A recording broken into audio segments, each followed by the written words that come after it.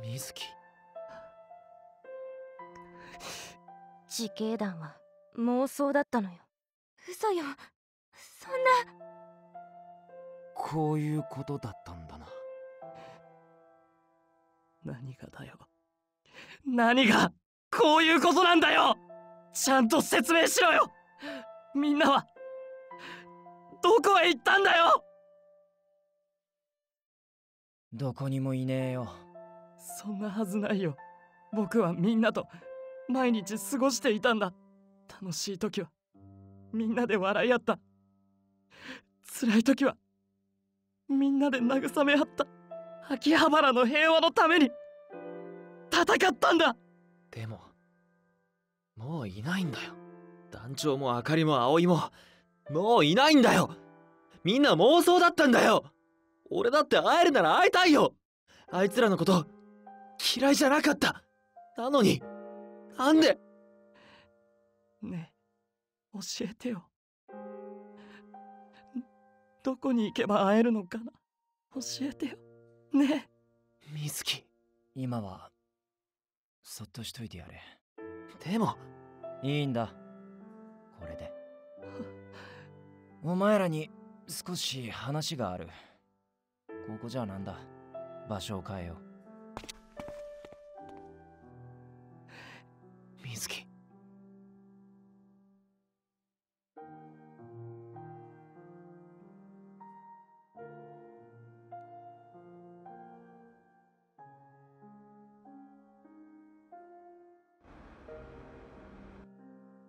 分と綺麗になってるじゃない。当たり前だ。ここは初めから妄想だったんだよ。アジトなんかじゃなかったんだ。そうだよレイジ。それをお前たちが壊してくれたんだ。お前！随分と派手にやってくれたみたいだね。見たくない顔だな。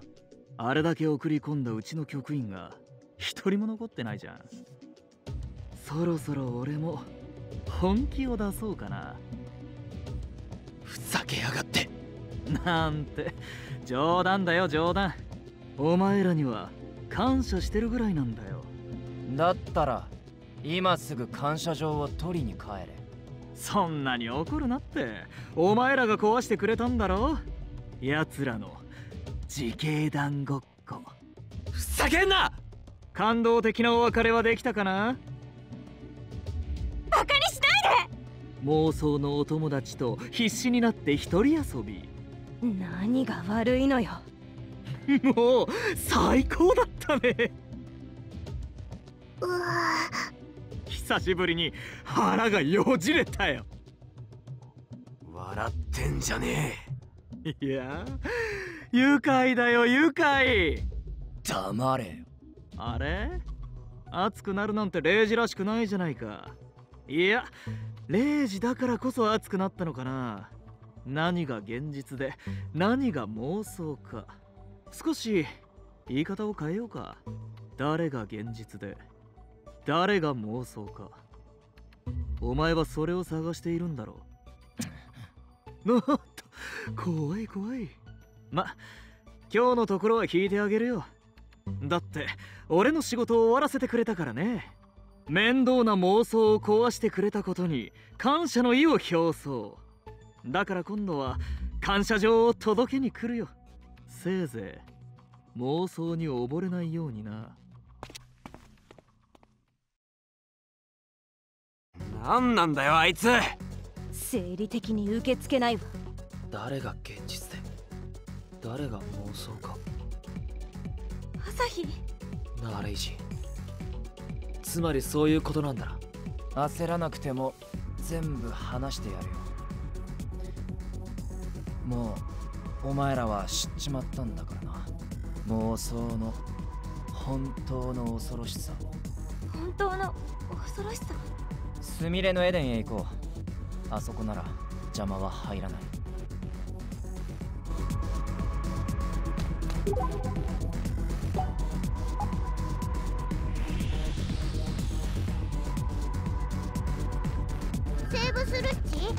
上書きに気をつけろっち。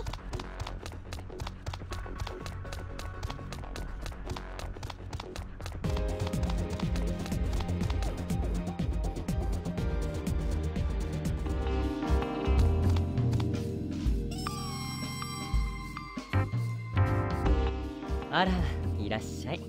いつものロックで。何かあったのね。何かなきゃ飲んじゃいけねえのかよ。顔に出ているのよ。そう。まるであの頃みたいな顔ね。妄想の研究に夢中だった頃じゃなくて妄想から逃げ出す前の顔よ。レイジ話してくれ。妄想の本当の恐ろしさって一体どういうことなんだよ。何が現実で何が妄想か。誰が現実で誰が妄想か。たったそれだけの話だ。自警団のことねなあその通り。お前らも目の当たりにしただろう。長い時間を一緒に過ごした仲間がそんな仲間と一緒に過ごした場所すら妄想かもしれない。家族だって友達だってそうだ。それどころかたった今自分がいるこの場所さえ妄想かもしれないんだ。俺という存在は現実なのか。それとも誰かが生み出した妄想なのか何が現実で何が妄想か。その全てが分からなくなる。全てを失うことがある。それが妄想の本当の恐ろしさだ。そんな。それでも俺は最後に一つだけ見つけたかった。いくつもの季節を共にした恋人が現実なのか妄想なのか。その答えを。だからまだ見つけたけど見つかってなかったんだなやっぱり元カノじゃん。で管理局員だったあんたがどうしてここにいるのかしら？逃げ出したからだよ。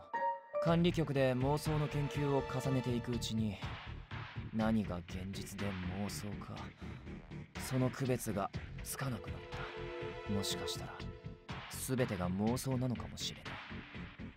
周りの人間も環境も俺の人生さえも目の前にいる恋人さえ現実なのか妄想なのか俺には分からなくなったんだ。だから俺は怖くなって逃げ出した。これはな他人事じゃないんだ。朝日。お前の親友が感じた痛み。わかるだろ。水木は大切な仲間を失った。存在していなかった。かけがえのない。大切な仲間。をこれが俺の伝えたかった話だ。そんなことって。だからお前らはさっさと日常へ帰れ。妄想は一種の病だ。管理局にいやきっと保護してもらえる。そんな！悪いことは言わねえよ。取り返しがつかなくなる前に妄想から覚めるんだ。でもそれじ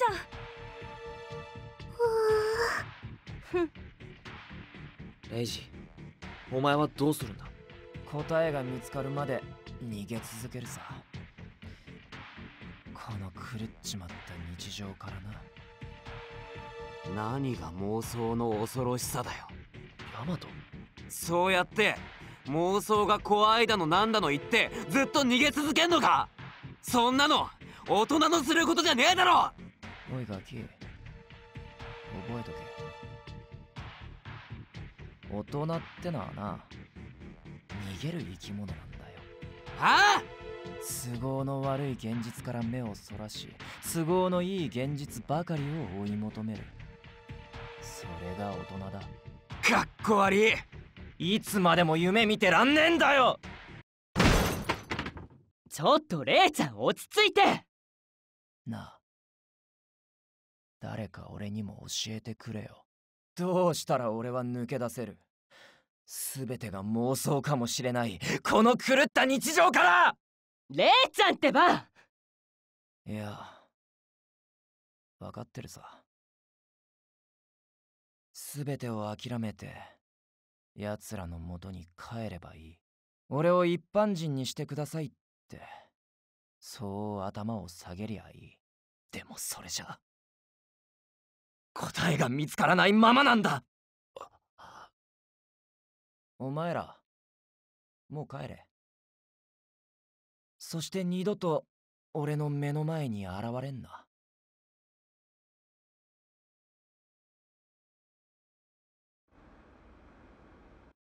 追い出されちゃったわね。何なんだよあいつ。妄想なんて怖くないわ。でも理由はわかる気がします。レイジさんの言う妄想の恐ろしさが今まで考えてもみませんでした。何が現実で妄想か誰が現実で妄想かなんて。もしかしたら全てが妄想かもしれないこの秋葉原って街自体もか？本郷大和っていう存在自体もね。自分自身も妄想かもしれないんです。俺たちは何も知らなかった。いや気づけなかっただけだったんだ。現実を侵食する妄想こうなってもおかしくなかったはずなんだ。繰り返し続ける今日に。溢れ返る妄想に追われ大切なことから目をそらしていた。溢れ返る妄想も妄想の仕業だったわ。繰り返す今日も妄想なんでしょうか？ピンクマントこそ妄想の存在かもしれないわ。妄想管理局こそ本当に存在すんのかよ。もう俺たちには分からないんだ。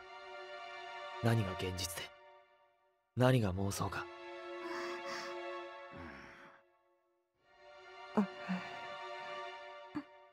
こんな世界で。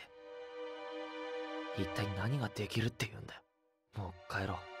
まさか朝日日常に帰るっていうのでしょうか。管理局の奴らには死んでも頭を下げないわ。なあどっちにだ？いや家にだ。はあ？ちょっとびっくりさせないでよ。今日はもう遅い。みんな家に帰ってゆっくり休もう。そしてゆっくり考えてほしい自分がこれからどうすべきなのかを。それって。妄想から覚めて日常へ帰るかを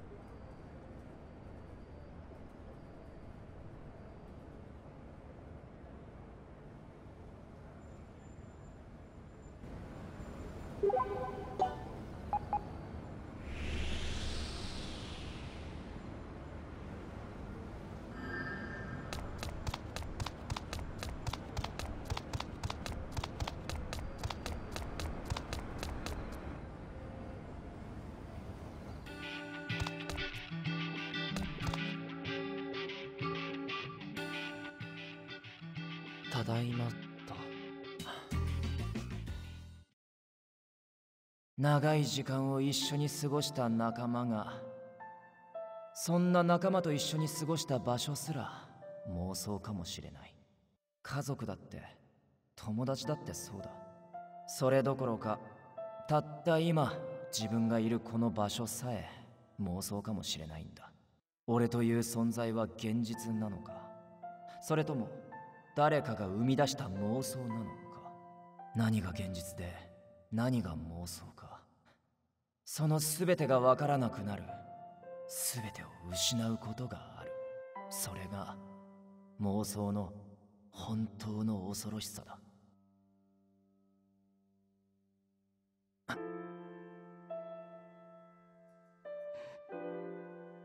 何がだよ。何がこういうことなんだよ。ちゃんと説明しろよ。みんなは。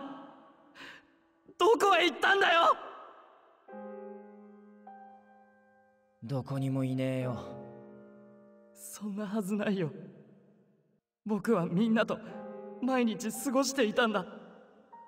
楽しい時はみんなで笑い合った。辛い時はみんなで慰め合った秋葉原の平和のために戦ったんだ。でももういないんだよ。団長もあかりも葵ももういないんだよ。みんな妄想だったんだよ。俺だって会えるなら会いたいよ。あいつらのこと嫌いじゃなかった。なのになんで？ねえ教えてよどこに行けば会えるのか教えてよ。ねえ。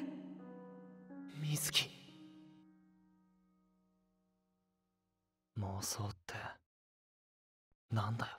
何なんだよ。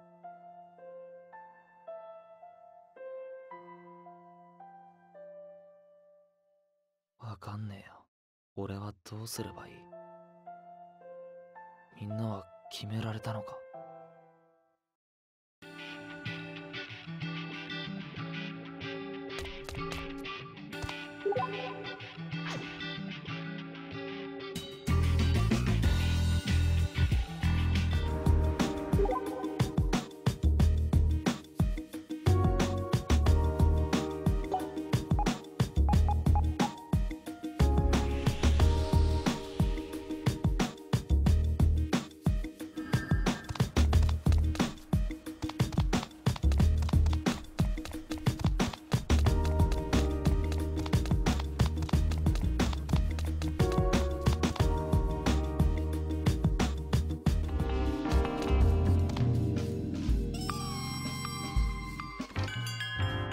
あらいらっしゃい。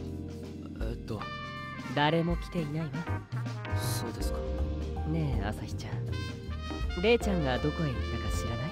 え？やっぱり知らないのよね。何かあったんですか？夜中の2時頃だったかしら。ちょっと目を離した隙にね。いなくなってたの。お題だけ置いて帰っちゃったのよ。電話にも出てくれないし困ったもん。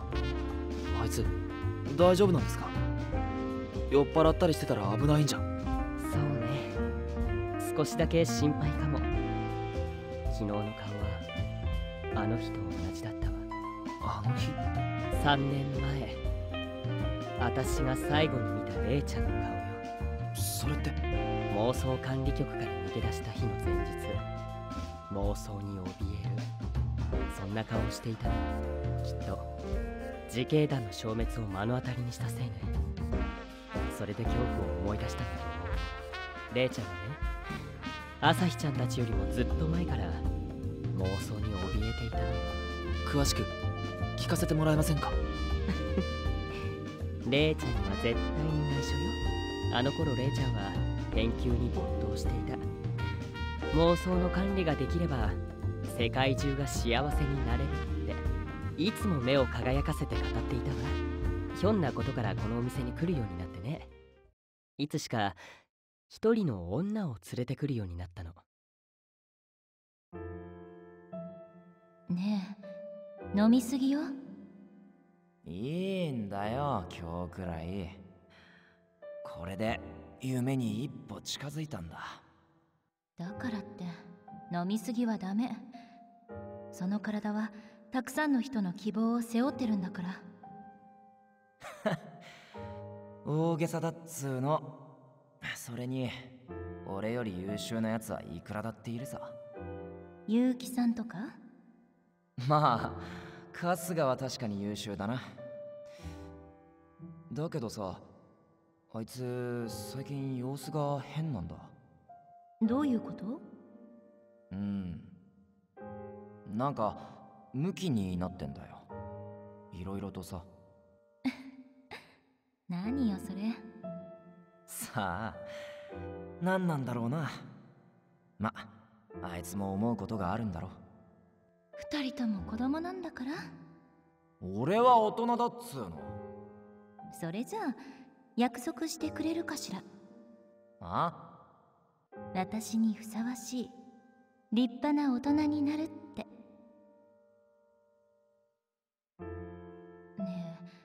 最近どうしたの？春日のことか。違うわ。あなたのことよ。仕事頑張りすぎじゃないの？そうしなきゃなんねえんだ。そんなに頑張ってどうするつもり？新しいプロジェクトを任せてもらう。そうすればきっと。どうしたんだ？どうもこうもないわろくに家にも帰ってないじゃない。ああ。そんなに大切なの？その新しいプロジェクトは？もう時間がなさそうなんだ。ねえ聞いてる？ああ。まあいいわ。返事する余裕くらいはあるのね。それで？どうなの？可視化デバイスの研究の方は？完成しねえよ。だけどだいぶ順調みたいじゃない。きっと俺にはできない。完成させることができないんだ。どうして？俺は答えを知りたい知りたくないんだ。きっと。